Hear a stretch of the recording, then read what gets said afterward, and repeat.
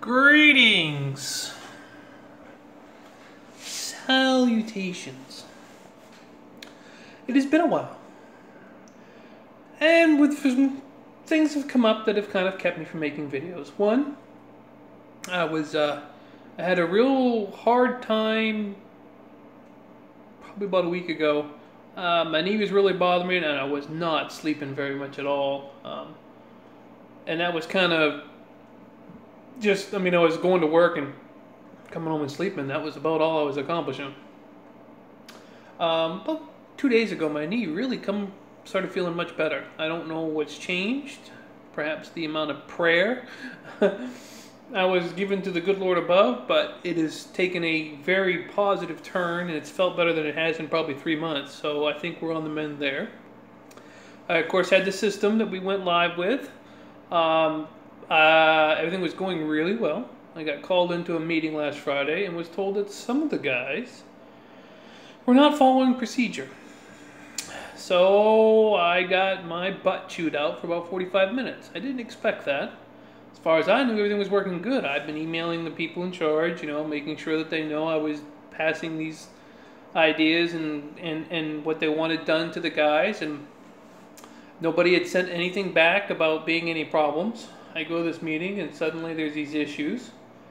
A particular individual who is on the uh, gate committee uh, pretty much said that it was if there people, the guys working the front gate here, weren't doing the job, it had to be because of the lack of training from me.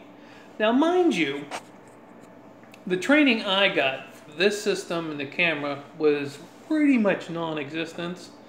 Non-existent. Uh, at the camera, especially, I've just, I mean, I had to show the guy that in, owns the company how to use it. I mean, I don't know what they're expecting. All right, I mean, I'm good, but I can't walk on water. Um, so that kind of surprised me a little bit. I was a little aggravated by that because if there was an issue before that, why didn't they tell me? And I could have been working on it with the guys. So I felt I was kind of uh, a little.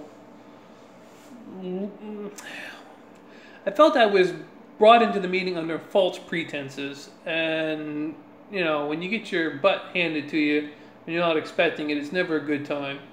So of course this week I'm cracking the whip here at work.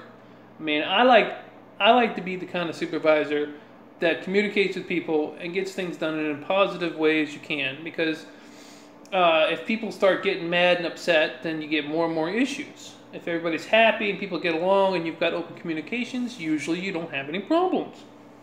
And like I said, I didn't think there was anything going on. Nobody had said anything to me. Everybody was good. Like I said, I was sending emails. Nobody was sending back emails saying, oh, well, there's this problem and it, nothing. So I didn't appreciate that. And then, of course, today I come in and the system is down. And I mean down. Um, we have procedures we got to do about calling, and I called, and it's after 5 o'clock. This company has banker hours, let me tell you. It is strictly 9 to 5, Monday through Friday. But there's a guy that answers the phone on, at nights and weekends, and he talked to my guy, and he says, "Well, not much we can really do if you can't get it up. Call after, uh, call tomorrow." So I had to send an email to all the people that are in charge of this to say, "Hey, listen, this system's down, and it is not our fault. I'm getting tired of being accused of the guys not being trained right when it's really the system's fault." So we'll see how well that goes over. I'm sure the system crashing will somehow be my fault. Nobody said being the supervisor was always fun. uh, as for other things, uh, the fiance is doing well. Um, I have been doing really good. I don't know if I mentioned about trying to do some weight loss at the beginning of the year to you guys or not. It's a few some videos. I know I had a lot going on, so I don't know if I got to that. Uh, but since January 1st, if you follow me on social media, you know I'm down 31 pounds. Um, so my goal is to get 105 pounds off by the end of the year. So uh, almost a third of the way there already. So I'm pretty happy about that. I'd like to get about 50 pounds off by my birthday, which is May 12th. And um, anyway, I've been working on that. The other issue I'm having is my phone, which is fine, but the carrier I got, uh, it just, I got no reception at my house. Uh, I mean, people call and I don't even get a notification, all of a sudden there's voicemail. I'm like, where did that come from? And that's an issue being a supervisor here at work. If something goes down, people got to call me. So I have to look into some stuff, and I really wanted to get something that had good coverage. I'm tired of always buying the cheapest thing. I really just want something that works. So I did what the internet is really designed for, research. If you really want to learn something and get information, the internet is brilliant for that. And I got into it, got through all that BS about who's the better and all this stuff. And I went in and read real stuff and looked at real reports. And as it turns out, Verizon has the best coverage in America.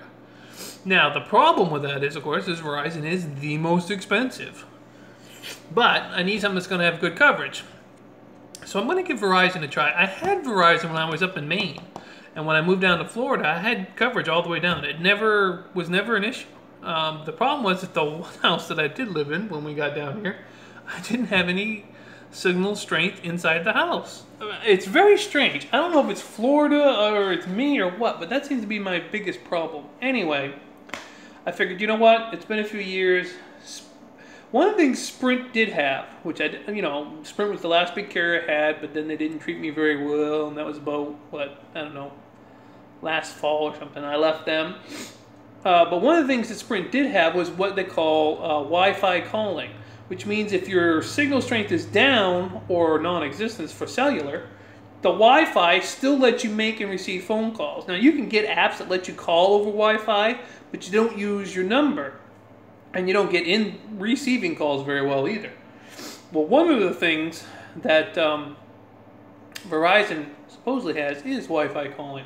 So even if the signal strength isn't great, if it has that feature, I would still get calls. So uh, I'm going to try it. And my dad had, um, I can't remember who my dad had. He had a,